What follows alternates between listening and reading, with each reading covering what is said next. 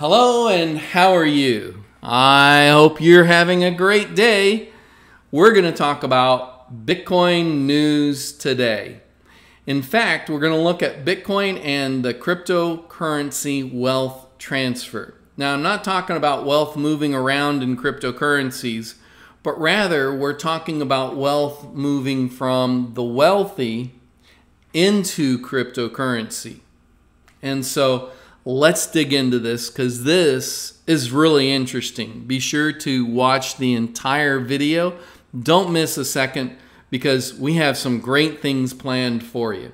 So should I buy Bitcoin now or should I wait? We're going to give you ideas to help you take profits and avoid losses. Can we get this video to 99 likes? Smash the like button. It really does help us out a lot. I'm not a financial advisor. In fact, my background is in computers and software engineering. This is not financial advice. This is my opinion. Cryptocurrency involves substantial risk of loss. And if you're investing in crypto, read the rest of this disclaimer. Take it very seriously.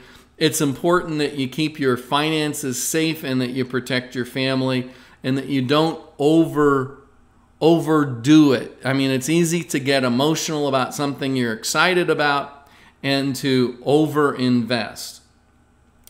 Uh, now, before I get into our topic for today, I want to bring this up because this really does have, this chart has a lot to do with what's going on and why institutions are moving their money from where they currently have it into Bitcoin and cryptocurrency. So if you took $1,000 and you bought Bitcoin and held it for three years and then sold it, so let's say on January 1, 2017, you bought $1,000 worth of Bitcoin and then you sold it on December 31st, 2019, you would get $7,206. Now that is a sevenfold return on your $1,000 investment. Even for the wealthy, that is a spectacular return. Now, one of the things you want to keep in mind is the wealthy is very familiar with these numbers and so we want to become familiar with these numbers. It's these numbers that are motivating them to get involved in cryptocurrency.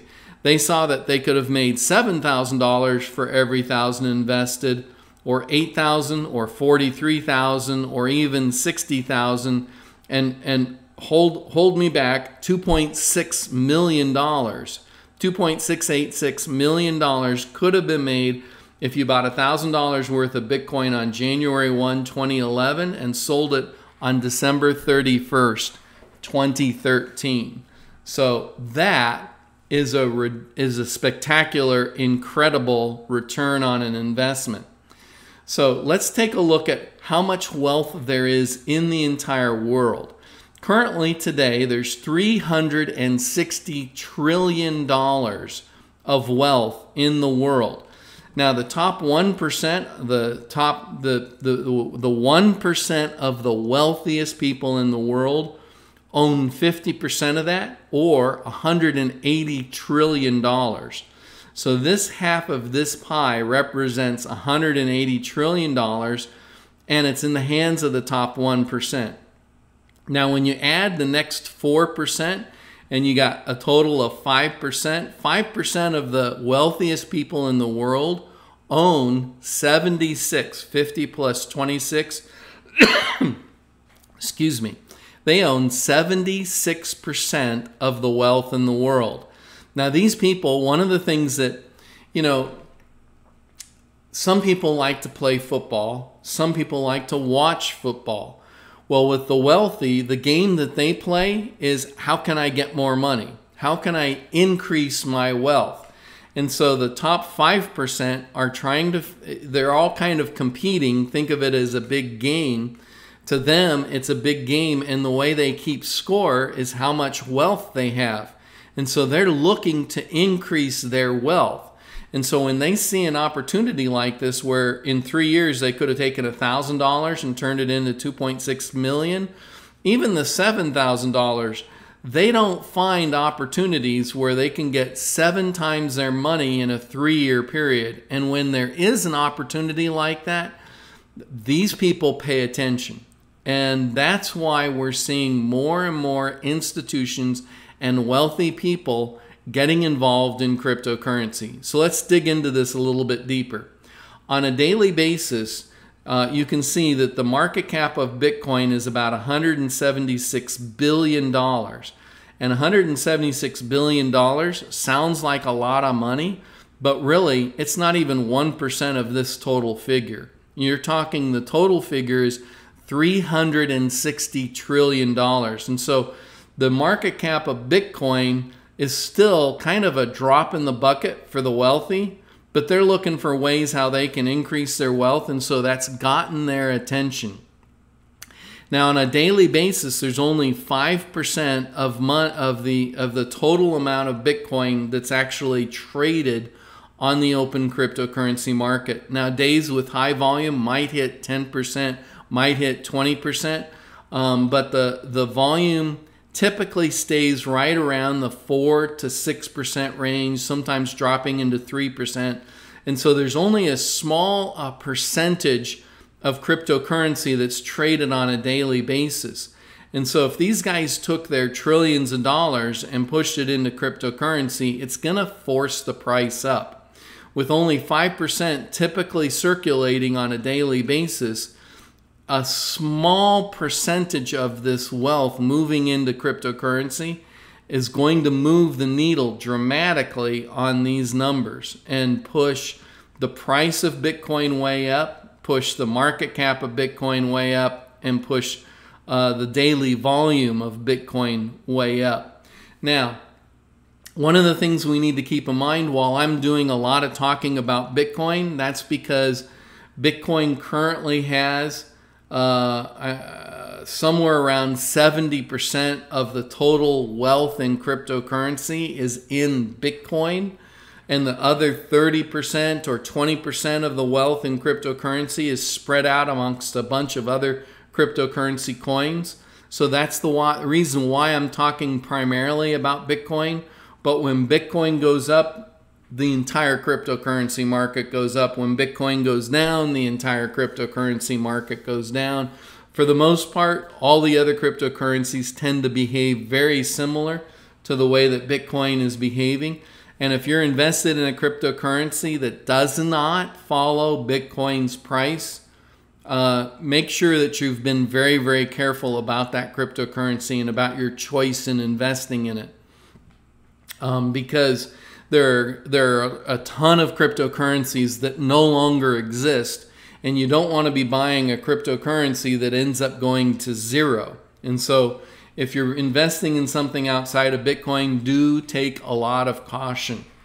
Anyway, enough said about that. So, 5% of the wealth is traded on a daily basis in Bitcoin. And when the institutions start taking their trillions of dollars and moving it into Bitcoin and altcoin, they need vehicles in order to do that. And over the last four or five years, there have been a lot of companies building platforms for institutions to invest in cryptocurrency.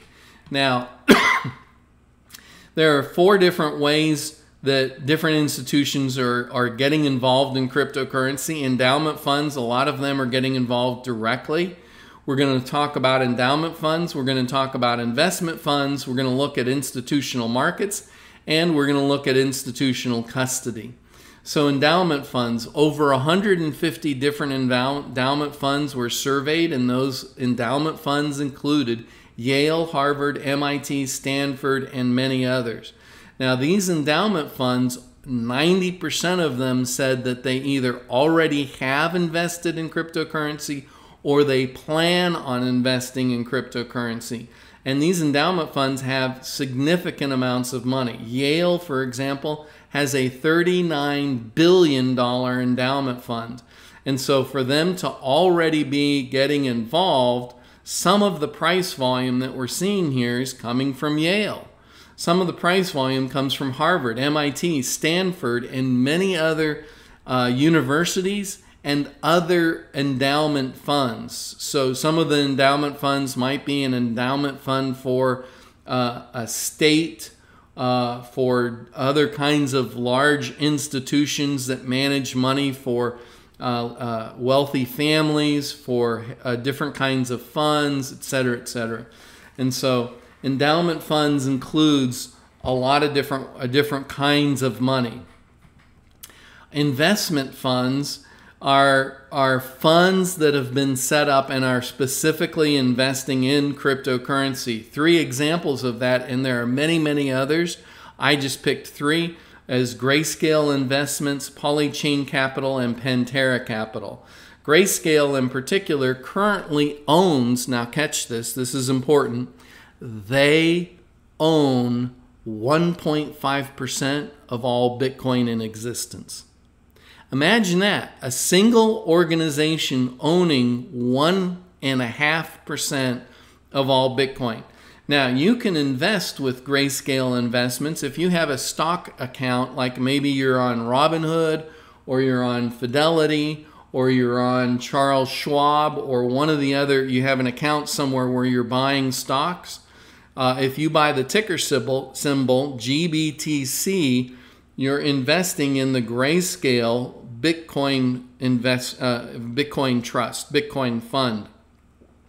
Now, 90% of the money that's invested in GBTC came from institutions, and the other 10% came from retail investors. And so the vast majority of that 1.5% that's in, that owns Bitcoin was purchased by institutions through the stock ticker symbol GBTC. And so that's an important thing to keep in mind. In fact, every week, every month, Grayscale has been purchasing more and more and more Bitcoin. Now they also have other funds that are for the other some of the altcoins, some of the other cryptocurrencies such as Ethereum and about five or six others. They Grayscale does not get involved in a large number of cryptocurrency. They kept it very, very small in terms of the different cryptocurrencies that you can invest in through them. And Polychain and Pantera have done similar things. Um, but the key thing here is that these are other ways that institutions are getting exposure into cryptocurrency. We also have institutional markets. An institutional market is a place where uh, institutions go to buy and sell cryptocurrency. The Bakkt Exchange opened up in September, and the Bakkt Exchange is a joint venture between Starbucks, Microsoft, and the, the company that owns the New York Stock Exchange. Those three companies took 500, almost half a billion dollars. They took almost half of a billion dollars in order to make a, an exchange, and they're primarily trading futures contracts. But when the contract expires, the person holding the contract gets one Bitcoin. And so those contracts are traded on the Bakkt exchange, and you can buy and sell them. And then if you're holding that contract on its expiration date, you'll end up owning some Bitcoin.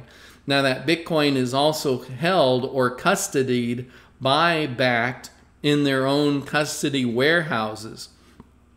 And so, one of the things that's important for institutions, some institutions legally cannot manage assets that they own. So, for example, if you've got the the pension fund for the state of Texas or the pension fund for whatever state you want to pick, that that pension fund has to have a third party managing the assets that they own.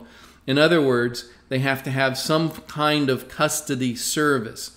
And so the Bakkt exchange is one of those custody services that on purpose serves institutions because institutions require that in order for them to get involved in, in into uh, uh, that particular asset class. So if they're buying real estate, they have a company that custodies that real estate. If they're buying stocks, there's a company that will custody those stocks, etc., etc. Now you can see there's a number of different choices. Now none of these lists are, in, are intended to be uh, exhaustive. There's a whole lot of other funds. There's a whole lot of investment funds. There's a whole lot of other endowment funds. There's a whole lot of other institutional markets. I only put up a, a, a short list so that we had a brief number of talking points. But here's the here's the key thing. And so institutional markets we have Bakkt, we have the Chicago Mercantile Exchange, we have Fidelity Digital Assets. Fidelity manages $6 trillion worth of assets. We have over the counter exchanges. Uh, you have, as far as custody services, you have Bakkt Coinbase, Binance, and many, many others. But here's the point institutions are moving money into Bitcoin and altcoins. They're taking it from wherever they currently have it and transferring it into Bitcoin. And that is a form of wealth transfer. And if you're on the side of you already own Bitcoin and Bitcoin's price is going up because institutions are moving trillions of dollars gradually and slowly into Bitcoin, then you're going to benefit from the price increase and will you see a $7,000 uh, gain over a three year period? Could be, but I think there's even more potential than $7,000 because we need to keep in, in mind the penetration of the target market.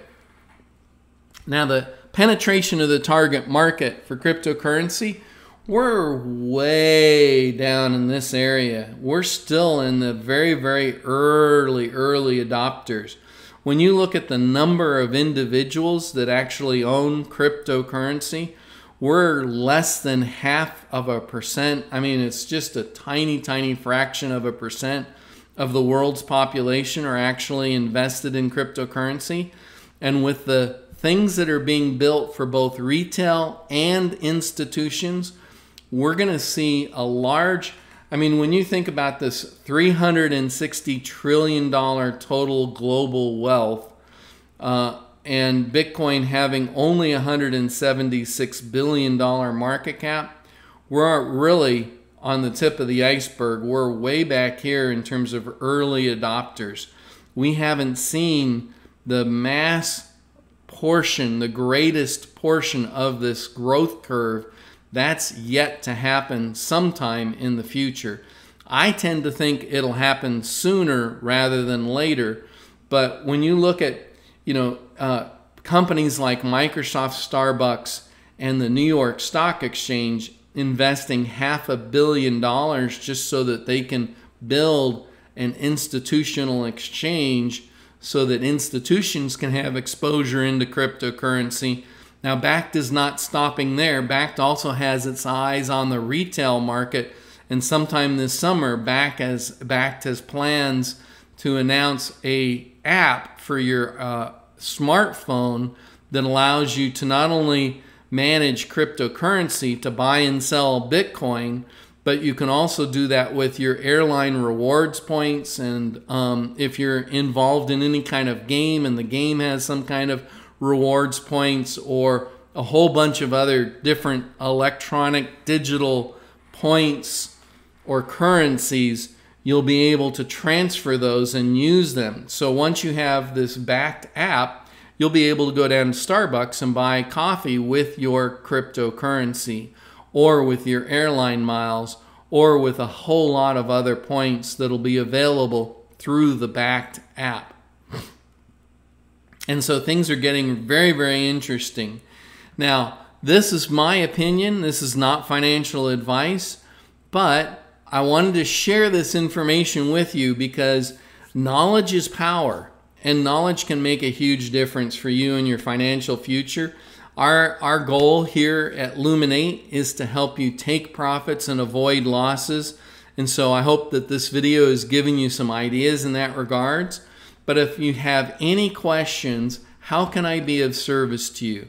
Please ask your questions in the comment section and we will do our best to give you good quality information, good quality answers to your questions. In the meantime, I hope that you'll like, subscribe, and hodl. And hey, do me a favor and have a fantastic day.